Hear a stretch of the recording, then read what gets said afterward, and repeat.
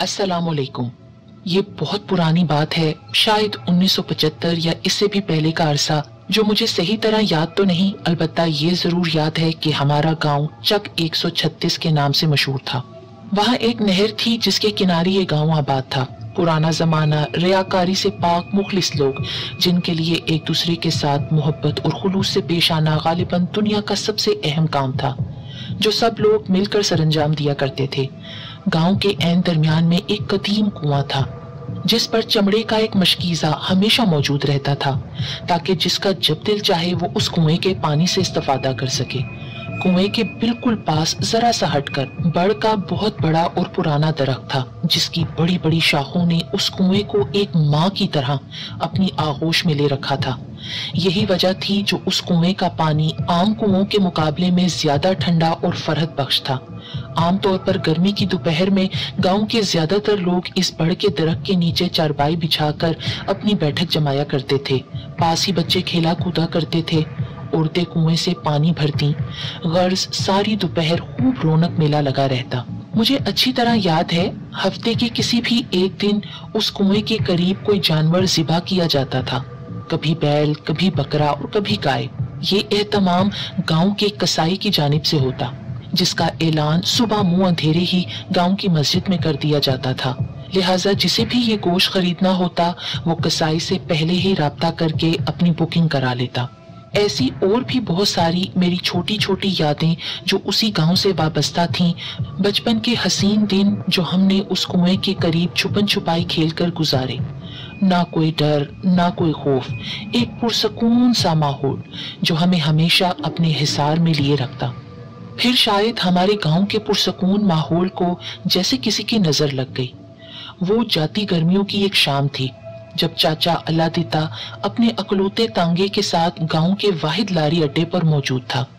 آخری بس آج خلاف توقع کچھ لیٹ ہو گئی تھی، ورنہ عام طور پر آٹھ بجے کے بعد وہ اڈا تقریباً پورا ویران ہو جاتا۔ مگر آج چونکہ ابھی تک بس بھی نہیں آئی تھی، لہٰذا چاچا بھی وہاں واحد چائے کے کھوکے پر موجود تھا۔ اور پھر ساڑھے سات پہنچ جانے والی بس ساڑھے آٹھ پونے نو بجے آئی، جس میں اتفاق سے چک چھتیس کا کوئی بھی مسافر موجود نہ تھا۔ چاچا نے جلدی سے گھوڑے کو گاؤں جانے والی کچھی سڑک پر ڈال دیا۔ سارا راستہ ویران پڑا تھا اور ہر طرف ایک ہو کا عالم تاری تھا، جو عام طور پر گاؤں میں سورج ڈھلتے ہی نظر آنے لگتا ہے۔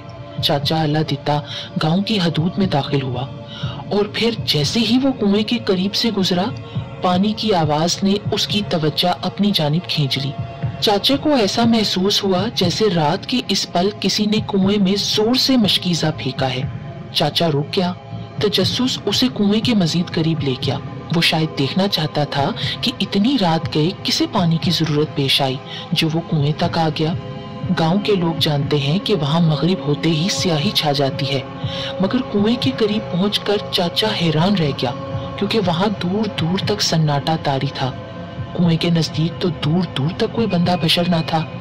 لیکن سب سے زیادہ حیران کن بات یہ تھی کہ کنویں پر مشکیزہ بھی موجود نہ تھا۔ چاچے کو محسوس ہوا جیسے کنویں کی پلی لرز رہی ہے۔ اس نے گھبرا کر تانگا واپس سڑک پر ڈالا اور پیچھے دیکھے بنا تیزی سے دوڑا دیا۔ صبح کی روشنی پھیلتے ہی چاچا کا رات والا خوف قدرے کم ہو گیا، مگر پھر بھی اس نے یہ واقعہ چوک پر بیٹھے تمام لوگوں کو سنایا۔ شاید کسی نے قابل اتنا نہ جانا، مگر اس کے بعد کچھ ایسے حالات و واقعات رونما ہوئے جس نے یک دم ہی گاؤں کی فضام میں خوف کی لہر دوڑا دی۔ آہستہ آہستہ لوگ اس کنویں کے پاس جانے سے ڈرنے لگے۔ وہ بچے جو کنویں کے قریب بے فکری سے کھیلتے تھے، اب مائیں ان کی فکر کرنے لگیں، کیونکہ اکثر ایسا ہوتا کہ کوئی نہ کوئی بچہ ڈر جاتا تھا۔ دوڑتے، بھاگتے بچوں کو ایسا محسوس ہوتا جیسے ان کے درمیان کوئی اور بھی دوڑ رہا ہے۔ کبھی پیچھے رہ جانے والے بچوں کو ایک سایہ سا دکھائی دیتا اور وہ ڈر جاتے۔ مگر وہاں شام کے وقت ہم جیسے نوجوانوں کا کھیل چھپن چھپائی جاری رہتا تھا۔ کیونکہ ہم میں سے تقریباً سب ہی خود کو بہت بہادر سمجھتے تھے۔ یہی وجہ تھی جو کنویں کے حوالے سے مشہور ہونے والی اتنی کہانیوں کے باوجود ہم نے اپنا کھیلنا چھوڑا تھا۔ جیسے ہی اثر کی نماز ہوتی، ہم آٹھ دس لڑکے اکٹھے ہو کر کنویں کے قریب پہنچ جاتے اور پھر مغرب تک خوب کھیل جمتا۔ حیرت کی بات یہ تھی کہ ہمارے ساتھ کوئی بھی ایسا مافوق الفطرت واقعہ بھی پیش نہ آیا تھا جو ہمیں خوف زدہ کر سکتا۔ سو ہم میں سے اکثر لڑکے تو کنویں سے وابستہ کہانیوں کو من گھڑت قرار دیتے۔ ظفر ہمارے گروپ کا سب سے شرارتی اور پھنے خان ٹائپ کا لڑکا تھا، جس نے چھپن چھپائی کے کھیل میں ایک مزید اضافہ یہ کر دیا تھا کہ جیسے ہی مغرب کا وقت ہوتا، جبکہ ہمارا کھیل ختم ہونے کا وقت تھا اس پل ظفر کنویں کے چاروں طرف سات چکر لگاتا اور پھر زور زور سے پکارتا، ماسی نی ماسی، میں تو سوکھا ہی واپس جا رہا ہوں۔ جس کا مطلب یہ ہوتا تھا کہ آج بھی اسے کوئی نقصان نہیں پہنچا۔ شروع شروع میں یہ کام وہ اکیلا ہی کرتا تھا، مگر پھر آہستہ آہستہ ہم بھی اس کے ساتھ شامل ہو گئے اور ہمیں مزہ بھی آنے لگا۔ یہ ہماری ایک بے ضرر سی شرارت تھی، جس کا مقصد کسی کو نقصان پہنچانا نہیں تھا۔ جاتی گرمیوں کی شام تھی، اثر اپنے وقت سے پہلے ہونے لگی تھی۔ اما تندور سلگانے کے لیے لکڑیاں جمع کر رہی تھی جب میرا دوست افضل مجھے بلانے آ گیا اوے جلدی آ جا، پھر مغرب ہو جانی ہے۔ اثر اور مغرب کی نماز کے درمیان محض ایک گھنٹے کا فرق رہ گیا تھا۔ افسر کی بات سنتے ہی میں نے جلدی سے چپل پہنی اور باہر کی جانب بھاگنے کی تیاری کی ہی تھی کہ یک دم اما سامنے آ گئی کنویں کی طرف نہ جانا۔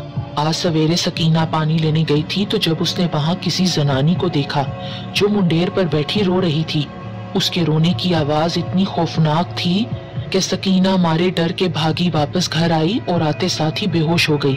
افو اما میں نے ان کی بات درمیان سے ہی کاٹ دی۔ آپ ایک اچھی مسلمان ہونے کے ناطے کیوں ان ساری باتوں پر یقین رکھتی ہیں؟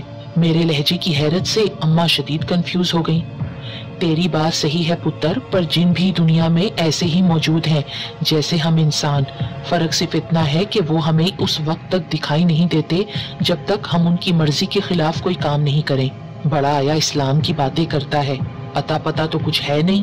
میں نہیں مانتا اماں، جنات ونات، سب فضول باتیں ہیں۔ بے پرواہی سے کہتا ہوا میں دروازے سے باہر نکل آیا۔ اور پھر کنویں کے پاس چھپن چھپائی کھیلتے کب وقت گزر گیا پتا ہی نہ چلا۔ مسجد کا اسپیکر شاید خراب تھا، جو ہمیں اذان کی آواز بھی سنائی نہ دی۔ جب اچانک میرے دوست کے بھائی نے دور سے ہمیں آواز لگائی اوے نالائک کو جلدی آؤ، نماز کا وقت نکلا جا رہا ہے۔ ان کی آواز سنتے ہی ہم سب کو احساس ہوا کہ فضا میں چاروں طرف اندھیرا پھیل چکا ہے۔ چلو بھائی، جلدی نکلو یہاں سے۔ افضل سب سے آگے بھاگا، جبکہ ظفر ہمیشہ کی طرح کنویں کی سمت توڑا اوے آج دیر ہو گئی ہے، آجا، کل کر لینا یہ سب۔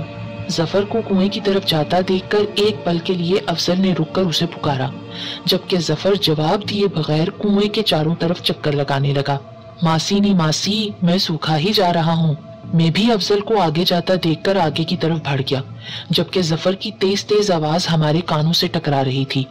ابھی ہم تھوڑا ہی دور گئے تھے کہ ظفر کی آواز آنا اچانک بند ہو گئی۔ میں نے پلٹ کر دیکھا تو مجھے ظفر دکھائی نہ دیا۔ افضل افضل، ظفر پیچھے نہیں ہے۔ تیز دوڑتے ہوئے میں نے افضل کو جا لیا۔ وہی ہوگا اس نے کہاں جانا ہے؟ یہ کہہ کر وہ رک گیا جبکہ باقی سارے لڑکے مسجد کی جانب جا چکے تھے۔ ابھی ہم نے اتنی ہی بات کی تھی کہ ظفر کی لرزہ خیز چیخ ہمارے کانوں سے ٹکرائی، جسے سنتے ہی ہمارے تو قدموں تلے سے زمین نکل گئی۔ اسے کیا ہوا؟ ہم سب اس جانب دوڑے جہاں وہ پرسرار کنواں موجود تھا۔ ہم نے دیکھا سامنے زمین پر ظفر بالکل ساکت پڑا تھا، جیسے اس کے جسم میں تو جان ہی نہ ہو۔ ارے، یہ تو مر گیا ہے۔ میرے ایک دوست نے اسے دیکھ کر بولا، نتیجہ یہی اخذ کیا کیونکہ اس کا رنگ اس سمے لٹھے کی مانے سفید پڑ چکا تھا۔ ایسے جیسے کسی نے اس کے جسم کا سارا خون نچوڑ لیا ہو۔ ہم نے آگے بڑھ کر اس کے دل کی دھڑکن سنی جو آہستہ آہستہ چل رہی تھی۔ خدا کا کرنا کہ اسی پل چاچا اللہ دیتا اپنے تانگے سمیت وہاں آ گیا۔ اوے لڑکو، اتنی رات گئے یہاں کیا کر رہے ہو؟ یہ کہتے ہوئے وہ ہمارے قریب آن رکا۔ ظفر بے ہوش ہو گیا ہے چاچا۔ یہ سنتے ہی چاچا نیچے اتر کر آ گیا اور اسے ہلایا جلایا۔ پھر ہم سب کی مدد سے تانگے میں ڈال کر تیزی سے گاؤں کے واحد حکیم کے دروازے پر جا پہنچا۔ اسی پل ظفر کے تمام گھر والے بھی وہاں آ پہنچے۔ بظاہر ظفر میں زندگی کے کوئی آثار نہ تھے۔ اس کی گردن پر موجود انگلیوں کے نشان ایسے تھے جیسے کسی نے اس کا گلا دبوچا ہو۔ لیکن چونکہ ہم میں سے کسی نے کچھ نہیں دیکھا تھا، اس لیے ہم خاموشی رہے۔ کیا ہوا اسے؟ ہر شخص کا ایک ہی سوال تھا۔ ارے ہم کچھ نہیں جانتے ہم سب کا بھی ایک ہی جواب تھا۔ اور پھر حکیم صاحب کی کوشش اور گھر والوں کی دعائیں رنگ لے آئیں۔ ظفر کو تین روز کے بعد ہوش آ گیا، مگر اس طرح کہ کئی دنوں تک وہ کھانا پینا اور بولنا سب بھول گیا۔ اس کی اس حالت نے ہمیں اتنا خوف زدہ کیا کہ ہم میں سے کسی نے اس دن کے بعد کنویں کی طرف جانے کی جرت نہ کی۔ مگر ہم یہ جاننا چاہتے تھے کہ ظفر کو ایسا کیا ہوا جس سے وہ خوف زدہ ہو کر تین دن تک بے ہوش رہا، اور یہ بات سوائے ظفر کے کوئی نہ بتا سکتا تھا۔ جس کے لیے اس کا مکمل صحت یاب ہونا ضروری تھا۔ بلا آخر دو ماہ بعد ظفر اس قابل ہو گیا کہ کالج اور مدرسے جانے لگا۔ اب ہم سب اس انتظار میں تھے کہ وہ کب ساری بات ہمیں بتائے گا اور بلا آخر وہ دن بھی آ گیا۔ اس دن کالج سے واپسی کے بعد ہمارا ارادہ نہر پر جا کر نہانے کا تھا اور ہمارے اس پروگرام میں ابھی تک سفر شامل نہ تھا۔ جب گھر واپسی پر میں نے اس سے پوچھا، ہمارے ساتھ نہر پر چلو گے؟ تو کہنے لگا، نہیں، مجھے گھر جانا ہے.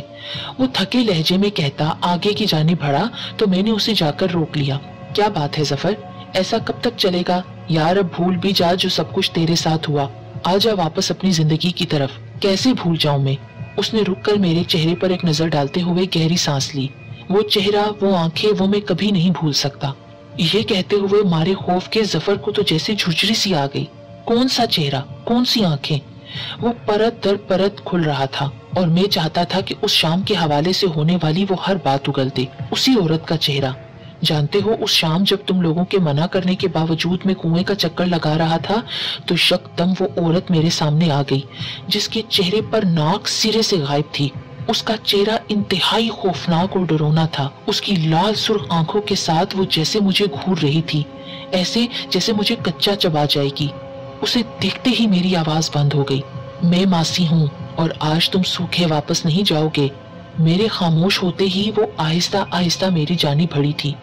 میں نے بہت کوشش کی کہ بھاگ جاؤں یا تم لوگوں کو آواز دے کر روک لوں، مگر جانے کیسے میرا جسم بے جان ہو گیا۔ شاید خوف نے مجھے منجمد کر دیا تھا۔ میرے حلق سے آواز قطعی غائب ہو گئی تھی۔ تم روز مجھے پکارتے تھے نا؟ لو دیکھو، آج میں آ گئی۔ یہ کہتے ہوئے وہ ہسی تھی اور اس کے دانت اس قدر خوفناک تھے جس کا تم اندازہ نہیں کر سکتے۔ مجھے جانے دو، میں کہنا چاہتا تھا مگر کہہ نہ پایا۔ اسی پل اس نے آگے بڑھ کر میری گردن دپوچ لی۔ اس کے ہاتھ یہ بتاتے ہوئے مارے خوف کے جیسے زفر نے جھرجھری لی۔ اس کے ہاتھ چپ چپے سے تھے، ایسے جیسے مگر مچھ یا مینڈک کی کھال ہو۔ اپنے گیلے ہاتھوں سے وہ میری گردن دبا رہی تھی۔ اچانک تم لوگوں کی آواز میرے کانوں سے ٹکرائی۔ تم مجھے پکار رہے تھے۔ تمہاری آواز سنتے ہی مجھے جیسے ہوش آ گیا ہو۔ وہی پل تھا جب بے اختیار میرے منہ سے آیتل کرسی کا ورد جاری ہو گیا۔ یہ کہہ کر ظفر رک گیا۔ میں نے دیکھا وہ رو رہا تھا۔ پھر کیا ہوا؟ میں نے بے چینی سے سوال کیا۔ پھر میرے اللہ نے میری سن لی۔ وہ غلیظ عورت میرا گلا چھوڑ کر چھپاک سے کنویں میں گود گئی۔ او میری خدایا، اسی لیے جب ہم تمہارے پاس آ رہے تھے، تو ہمیں کنویں میں کسی کے کودنے کی آواز بھی آئی تھی، تو ہم سمجھے شاید مشکیزہ گرا ہے۔ اور پھر جب ہم وہاں پہنچے، تو تم بے ہوش زمین پر گرے پڑے تھے۔ ہاں اور جب مجھے ہوش میں آیا، تو مجھے ایسا لگا تھا شاید جو کچھ ہوا تھا وہ میرا وہم تھا، یا کوئی بھیانک خواب جو میں نے عالم بے ہوشی میں دیکھا ہو۔ مگر نہیں، یہ دیکھو، ظفر نے اپنی گردن میرے سامنے کی، جہاں انگلیوں کے سخت نشان اب بھی موجود تھے۔ وہ تو شاید مجھے مار ہی دیتی اگر میرا آخری وقت قریب آ گیا ہوتا۔ مگر نہیں، مجھے ابھی اور زندگی جینا تھی۔ یہی سبب تھا جو کسی نور کی طرح آیتل کرسی میرے سینے میں اتر گئی اور میں اس ناپاک بلا کے ہاتھوں مرنے سے بچ گیا۔ یہ کہہ کر ظفر رکا نہیں تھا اور آہستہ آہستہ آگے کی جانب چل دیا تھا۔ میں نے دیکھا وہ زہر پڑھنے مسجد جا رہا تھا۔ مجھے معلوم تھا کہ ظفر اب پانچ وقت کی نماز باجماعت پڑھتا ہے۔ اس حادثے نے اس کا اپنے خدا پر ایمان مضبوط کر دیا۔